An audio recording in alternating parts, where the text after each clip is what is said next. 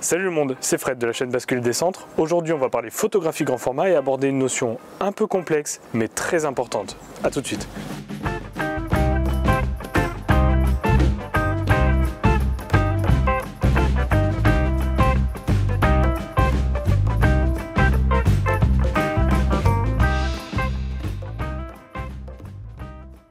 On va s'intéresser à un mouvement de bascule. En effet, j'en avais déjà parlé dans une vidéo que je vous place ici ou ici, je ne sais jamais de quel côté ça apparaît. Mais là, on va rentrer un peu plus en profondeur et on va parler d'une notion et d'une loi optique qui est très intéressante en photo de paysage quand le plan le plus proche de nous doit être net et le plan le plus loin doit être net aussi. Alors, on peut faire ça avec un appareil photo conventionnel en fermant le diaphragme à f64, même si ce n'est pas possible. Mais en chambre grand format, on a une autre méthode. On va parler de la loi de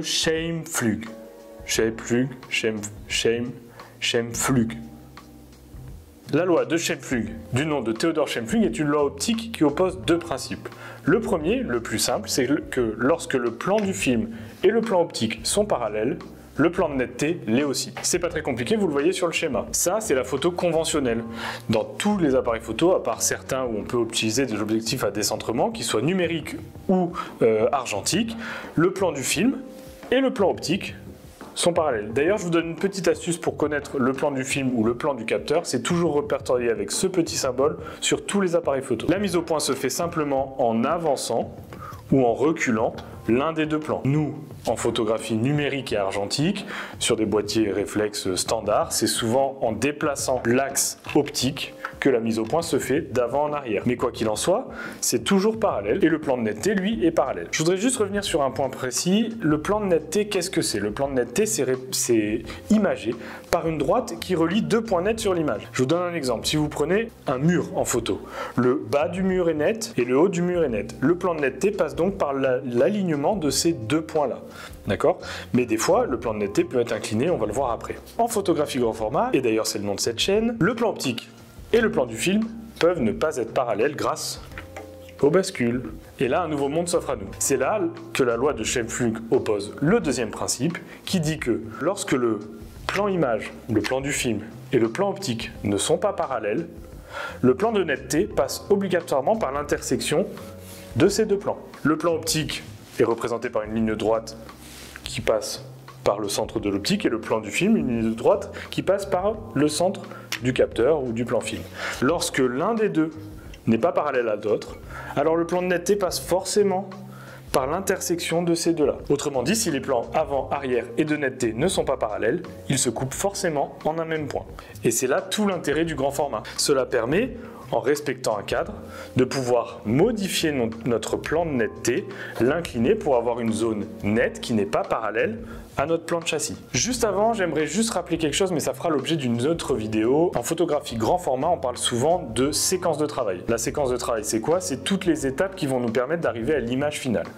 Ces étapes, chacun les met à sa sauce, mais je vais vous donner la mienne, et ça permet de dégrossir le travail et d'aller un peu plus vite dans nos prises de vue. Sachant qu'au début, moi, je mettais euh, facilement euh, une heure pour tirer un plan film. Maintenant, quelque chose d'assez simple avec des mouvements de bascule assez rapides, ça me prend un quart d'heure, 20 minutes, pas plus.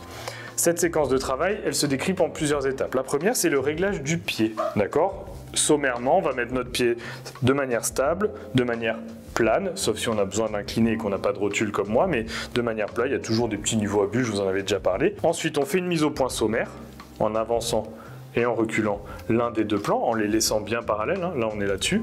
S'il y a besoin, on va effectuer une bascule arrière pour corriger les perspectives. La correction des perspectives, c'est un gros schéma, et c'est un gros chapitre en photographie grand format, on l'abordera dans une autre vidéo, mais souvenez-vous d'une chose, la correction des perspectives se fait plus facilement avec le corps arrière, et la correction du plan de netteté se fait avec le corps avant, le plan optique. Une fois qu'on a basculé à l'arrière pour corriger nos perspectives, on peut effectuer des décentrements, allez voir la vidéo sur ça que j'ai réalisé il n'y a pas longtemps, pour modifier notre cadrage, et une fois que cela est fait, on va pouvoir à tâtons réaliser notre bascule avant pour corriger notre plan de netteté. C'est assez important de comprendre que le plan de netteté se gère plutôt avec le corps avant, même si ça marche aussi avec le corps arrière, mais le corps arrière aura énormément tendance à modifier les perspectives.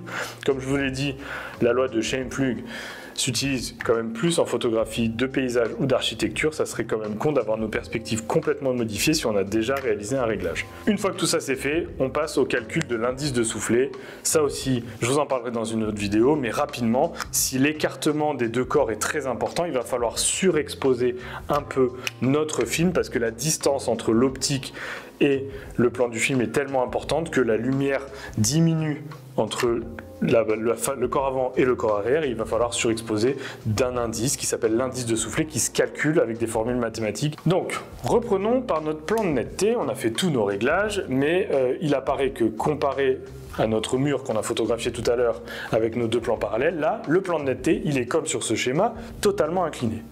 Deux solutions pour que cette inclinaison soit respectée et que cette ligne droite verte que vous voyez sur le schéma soit nette, c'est soit réaliser une bascule avant, ce qu'on fera le plus conventionnellement, soit réaliser une bascule arrière. Et là, on reprend ce que disait Schemflug, c'est que lorsque ce n'est pas parallèle, donc là c'est le cas, même si là c'est le plan de netteté qui n'est pas parallèle, mais on va faire notre bascule, donc ça ne sera plus parallèle, tout se coupe en un même point. Ça veut dire que je bascule mon corps avant pour respecter mon inclinaison et aller chercher le croisement de mes lignes, comme vous le voyez sur le schéma. C'est clairement aussi possible avec le corps arrière, ça va beaucoup modifier les perspectives, ça va nous donner des bâtiments champignons ou l'inverse, mais on peut aussi basculer en arrière pour aller retrouver notre alignement et que nos trois plans se coupent en un même point. La loi de Schemplug, elle, elle, ne permet pas de prédire la zone de mise au point, parce que ça, ça se fait d'une avec l'écartement, et c'est pas assez précis, et puis il est très difficile, même en prenant du recul, d'imager vraiment l'intersection de tous nos plans. Mais c'est vraiment une aide à la compréhension, c'est-à-dire que quand vous êtes face à une image une image objective, c'est-à-dire l'image que vous voulez faire. Je vous dis une, connerie, un, paysage avec un premier plan qui doit être net et le plan du fond net. Et eh bien on imagine un peu l'axe du plan de netteté entre le, premier plan et le plan du fond. Et ça nous permet de comprendre quelle bascule on va devoir mettre en place pour respecter cet angle. En sachant que vous l'avez vu dans le schéma, ben en fait les bascules sont inversées. C'est-à-dire qu'à l'avant, le plan de netteté suit l'inclinaison du, du corps avant. Par contre à l'arrière, c'est inversé. Là, je vous mets un exemple assez simple. J'ai posé cet appareil photo que vous voyez ici sur une table. Je l'ai incliné sur le côté, donc il était de trois quarts face à moi, et je voulais vraiment que la face avant, c'est-à-dire la face des objectifs, soit nette. De ce fait-là, vous le voyez sur le schéma, j'ai dû basculer latéralement. Alors il y a la bascule avant-arrière, hein, et il y a la bascule latérale, droite et gauche. Ça a le même effet, mais c'est vu d'en haut. Vous voyez sur le schéma, j'ai dû basculer un peu pour que ce qui n'est pas parallèle normalement à mon plan de châssis soit net. J'aurais pu le rendre net en tournant l'appareil photo vers moi, mais c'est pas ce que je voulais. Je voulais vraiment un appareil photo de 3 quarts avec une zone de netteté qui est euh, parallèle, enfin qui, passe par les, optiques de ce petit appareil photo euh, Yashica. C'est plus ou moins réussi, mais en tout cas, sachez que sur cette photo-là, j'étais ouvert à f5.6 avec un objectif de 180 mm, euh, avec un indice de soufflet moyennement calculé, c'est pour ça que c'est peut-être un peu sous-exposé. En tout cas, grâce à ça, la face avant de l'objectif est nette, alors que normalement, je devrais avoir simplement l'arête qui est la plus proche de moi, ou alors là où j'ai fait ma mise au point, mais ça devait être parallèle. Mais encore une fois, la loi de Flux, c'est qu'une aide à la compréhension. Ça nous permet d'anticiper un petit peu nos bascules avant ou arrière. Voilà, c'est la fin de cette vidéo, j'espère que ça vous a plu. Si c'est le cas, n'hésitez pas à vous abonner, à activer la cloche de notification, ça m'aide beaucoup. On est plus de 700 maintenant sur la chaîne et ça c'est top. J'espère que j'ai été assez clair sur la notion et la loi de Shame-Flug. Si quelqu'un sait comment ça se prononce, qu'il le dise dans les commentaires avec une petite note vocale, euh, ça passe bien parce que moi vraiment j'ai galéré. Encore une fois, je le répète, je suis pas un pro de l'optique. Je me renseigne, j'essaie de vous faire des vidéos les plus qualitatives mais aussi les plus abordables. La notion était assez complexe, c'était pas à comprendre. Même moi j'ai eu du mal, j'ai dû voir beaucoup de schémas. On a abordé un peu le sujet, j'espère que ça sera assez pour vous. Mais en tout cas, je vous le rappelle, rien ne vaut euh, des tests. Alors je sais que le film est cher, je sais que tout ça, ça coûte cher et que c'est pas très simple, mais rien ne vaut de cramer du plan film, d'essayer de basculer dans tous les sens, de voir ce que donne la chambre et de voir ce que donnent les optiques. C'est comme ça qu'on apprend, c'est comme ça qu'on arrive le mieux à faire des choses. Je vous invite à sortir, sortir de votre chambre, sortir la chambre et faire des photos. Ciao